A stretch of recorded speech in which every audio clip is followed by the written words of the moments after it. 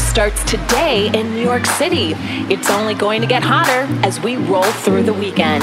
Today, mid 90s, tomorrow, upper 90s, but feels like it's 100 to 110. Blue skies across the city skyline.